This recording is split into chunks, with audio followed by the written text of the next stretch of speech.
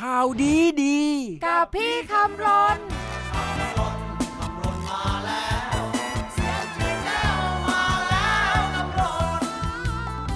ตอนชมรมเรียนรู้ศาสตร์พระราชานานาชาติ โครงการไทยสามัคคี จัดกิจกรรมเทิดทูนสถาบันหลักของชาติ ที่หน้าสารกลางจังหวัดยะโสธรนะ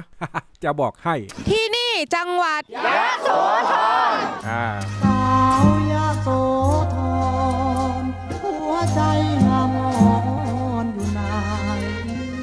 ารไทยสามัคคีชมรม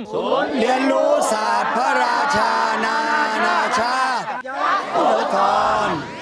การจัดกิจกรรมและความจงรักภักดีครั้งนี้ที่หน้าสารกลางจังหวัดยะโสธรนำโดยพลตรีชัยฤทธิ์บัวชุรี อดีตผู้ทรงคุณวุฒิกองทัพบบก และบรรดาสมาชิกชมรม เรียนรู้ศาสตร์พระราชานานาชาติ โครงการไทยสามัคคี ร่วมกันรำลึกถึงพระมหากรุณาธิคุณของในหลวงรัชกาลที่ 9 และในหลวงรัชกาลที่ 10 โครงการไทยสามัคคี มุ่งหมายให้ความช่วยเหลือประชาชน ผู้ด้อยโอกาสถูกมองข้ามมองเลย ซึ่งทั้งสองพระองค์ได้พระราชทาน แนวคิดที่ดีในการทำมาหากินในหลักปรัชญาเศรษฐกิจพอเพียง ตามศาสตร์พระราชา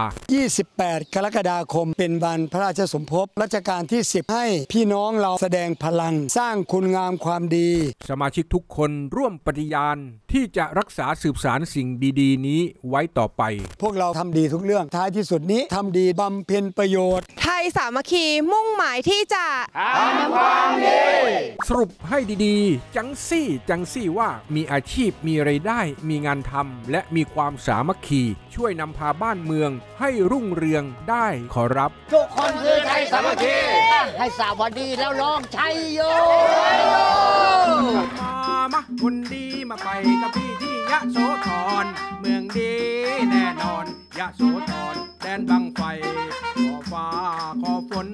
เทวดาโปรดจงเห็นใจยะโสไม่ไกลไม่ไกลมามา